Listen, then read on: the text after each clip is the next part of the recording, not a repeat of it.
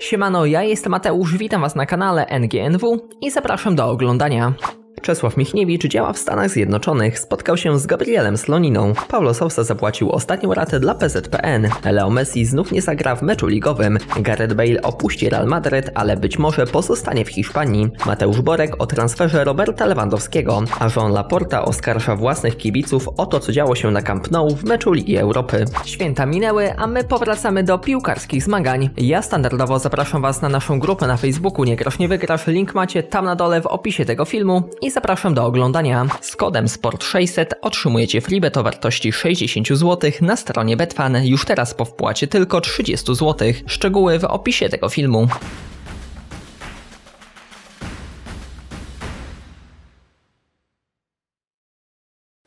17 lat, jak na bramkarza, to bardzo młody wiek. Zazwyczaj dojrzewają sportowo oni znacznie później w odróżnieniu od kolegów z boiska. Co prawda są wyjątki, jak przykład Donnarumma, czy być może już niedługo takim wyjątkiem okaże się być wielki talent, jakim jest Gabriel Slonina. Bramkarz Chicago Fire z polskimi korzeniami spotkał się ostatnio z selekcjonerem naszej reprezentacji, czyli Czesławem Michniewiczem. Jak na razie występował co prawda tylko w kadrach młodzieżowych, ale Stanów Zjednoczonych, aczkolwiek najbliższe spotkania reprezentacji Polski zaplanowane są już na czerwiec. Będą to spotkania w ramach Ligi Narodów. Nie jest wykluczone, że to właśnie na nich pojawi się utalentowany bramkarz.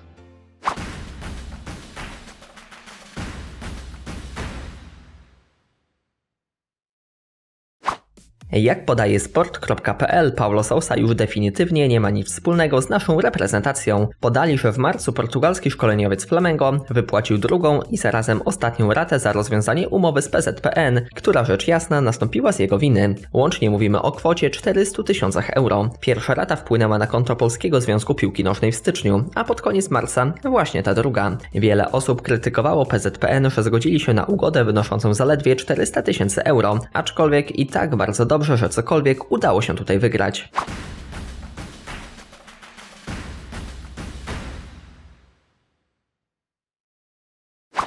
Już dzisiaj swój kolejny ligowy mecz rozegra Paris Saint-Germain, ale w nim po raz kolejny zabraknie Leo Messiego. Powodem jest zapalenie ścięgna Achillesa. Właśnie ta kontuzja sprawia, że jest to już szósty raz, gdy argentyński napastnik opuszcza swoich kolegów. Dzisiaj zmierzą się z Ongą, tak więc nieobecność Leo nie powinna, a raczej nie może mieć najmniejszego znaczenia w kontekście końcowego rezultatu. Aczkolwiek Leo nie poprawi swoich statystyk, które i tak są już bardzo przeciętne. W 29 spotkaniach zaliczył 13 asyst, a tylko 8 razy pokonał bramkarz rywali.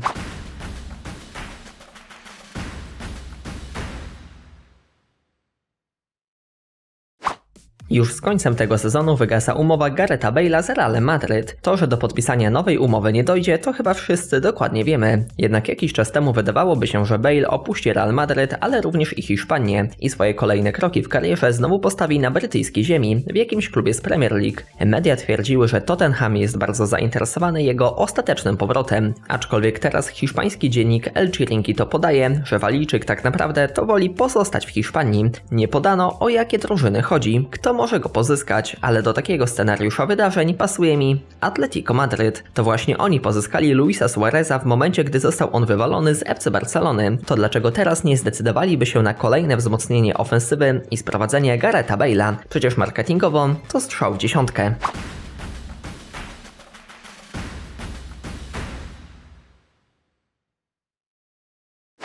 Mateusz Borek swoją ostatnią wypowiedzią wskazał, że FC Barcelona coraz bardziej przymierza się do sprowadzenia Roberta Lewandowskiego. Tak powiedział na kanale sportowym. Ponoć pojawił się temat pożyczki z kraju arabskiego dla Barcelony i to będzie oznaczać zdecydowaną chęć wykupienia Roberta Lewandowskiego. Dzisiaj Kicker pisze o kwocie 40 milionów euro. Ja twierdzę, że to będzie troszeczkę więcej, pewnie między 50 a 60 milionów. O ile byliśmy przekonani, że nic takiego nie nastąpi jeszcze 2-3 tygodnie temu, wygląda na to, że ta wizyta Piniego Zachawie która planowana jest między 27 a 29 kwietnia w Barcelonie, ona może być kluczowa.